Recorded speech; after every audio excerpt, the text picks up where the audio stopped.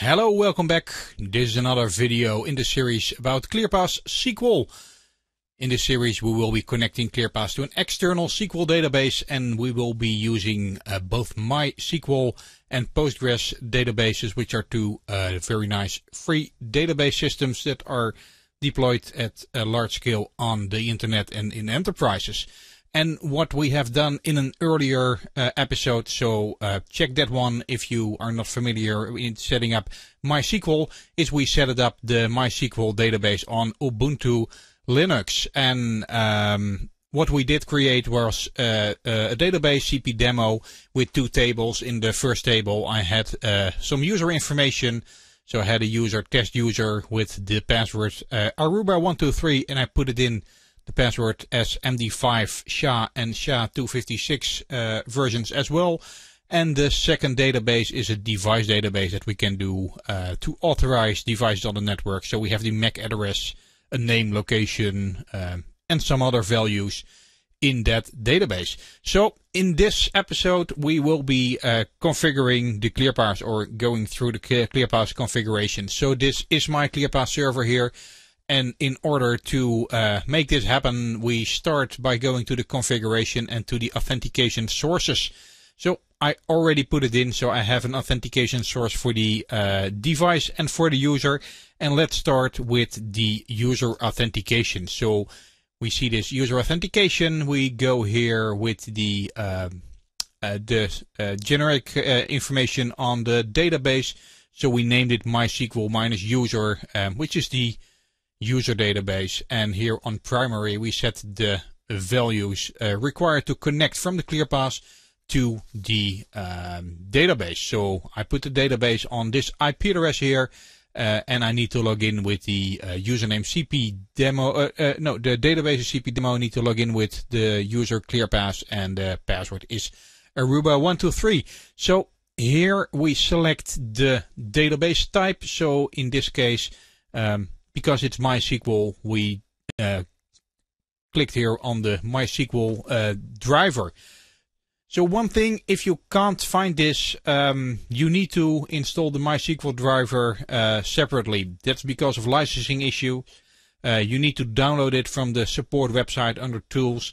There is the MySQL driver which you can uh, upload to ClearPass, and uh, I will create another video on that specific topic and I will link it uh, about here in the video so you can click on it and see how you de, uh, how you install the driver on uh, on ClearPass. Then here we uh, configure how the passwords are stored in the database. So as you might have seen uh, in the database, we had similar uh, or different versions of the password. So um, we start with the clear text password and let's try with the uh, SHA-256 uh, later on, for example. And then uh, the most important part is uh, our SQL query. And the SQL query here is um, configured as a so-called filter. And that filter, let's see how that's configured. Um, it has a filter name.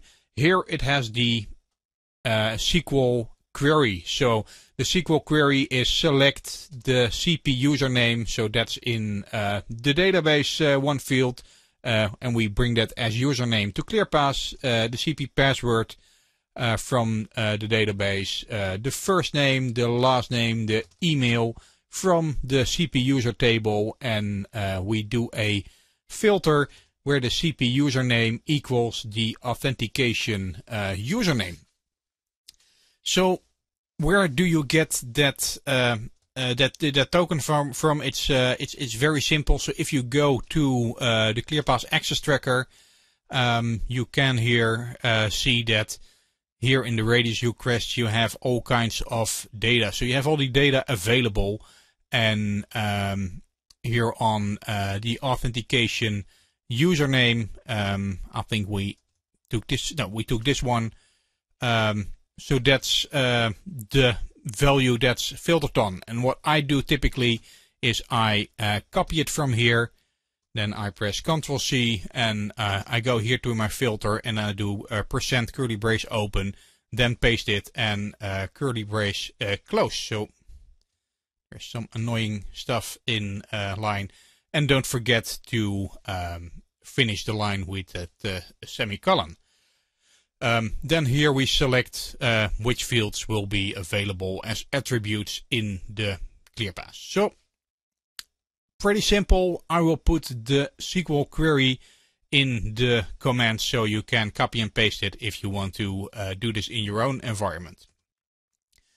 So what I next created is a service and I have a, a very simple service which is called uh, test SQL and um, I use a um, policy simulation later on to test it so you can uh, easily modify this for a real production version but I have an uh, policy simulation where I set the uh, NAS IP address to 1234 and I check that here in my service matching rules. So then in uh, the service I put the authentication on uh, PAP and I put the authentication sources on my uh, MySQL user database. So the one that I just uh, created.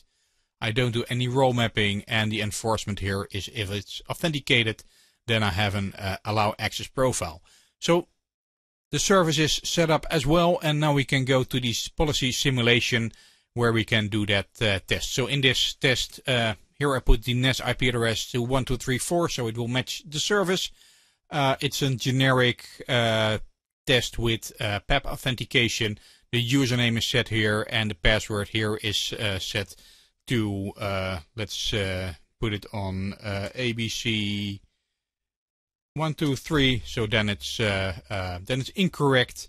Um, then here and the result, it's running and um, it's expected to fail. Now we can see indeed authentication has failed. We can see in the uh, access tracker as well. So here uh, the tech, uh, the clear text password check failed. So now let's uh, change the password to a correct one. Aruba one, two, three, and uh, again, and now we can see the authentication was successful. Again, we can see the details here in the access tracker, and you can see indeed that the uh, authentication source was the SQL database, and it was the authorization source was eh, the MySQL user database. We see eh, an allow access profile, and here under input, um, what is eh, nice is that we can see here the test first first name and the test last last name. So we can get additional fields from that database.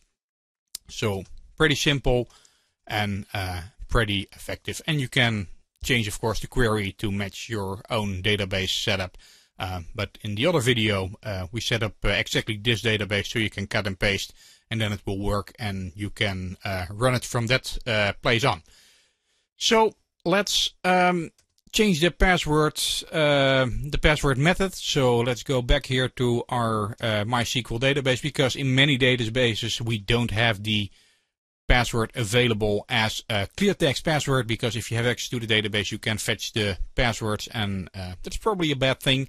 So we can use here uh, an hash function. So it will be a hash of the password and we can compare the hashes. ClearPass will fetch the hashed password from the database, then compare it to a hash of the password that the user gave and uh, then it will compare and if it's uh, the same then it will be uh, it will be uh, a successful authentication.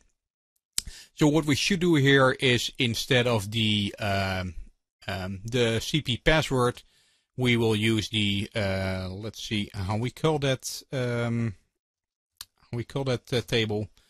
So we will use the uh, CP password underscore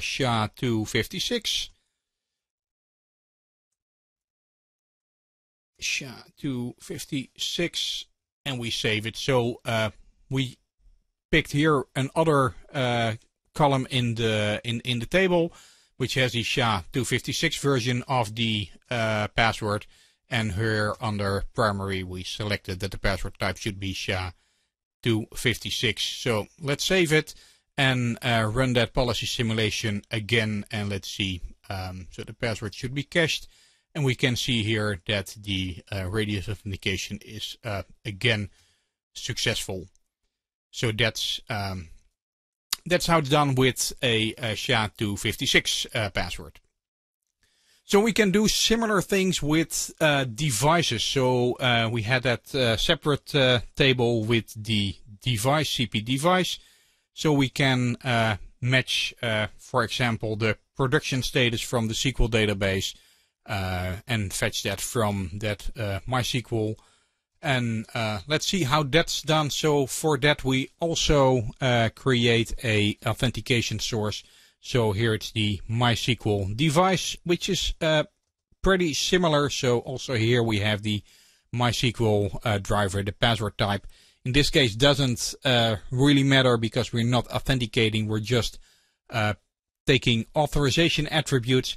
And then here under attributes, uh, we have again um, the filter query where we are uh, getting the MAC address, the name, the location, the label, the color, the status from the CP device and then uh, where the MAC address equals um, connection client MAC address no delimiter. And again, if you uh, cannot make that up yourself, um, it's uh, just here. So um, we take the no delim version, so this one, um, because this uh, this way uh, of the MAC address exactly matches uh, the way it's stored in the database. Um, if it's stored in the database with this dot format, you will take uh, this one. If it's stored with hyphens, you take uh, this one. So um, you can, uh, in many cases, do a direct match on that database. And um, again, these columns are the ones that are configured in the database. So to make this uh, functional, I have this uh, service available, which is an uh, existing MAC authentication uh, service, uh, where I enabled here the authorization, which reveals here the authorization tab. So we see in the authentication, we just have the uh, endpoint database. In the authorization, I added here the MySQL device database, and I do have a small role mapping here, which checks if the the status in the MySQL database, if it's filled with the value production, I will give the user a production role on the network so we can easily um, make, uh, yeah, give good um, the proper uh, access to the network. So let's check here in uh, the access tracker and let me turn around and um, do a trigger authentication for this uh, specific camera. So the authentication um, should be in any moment. So there it is.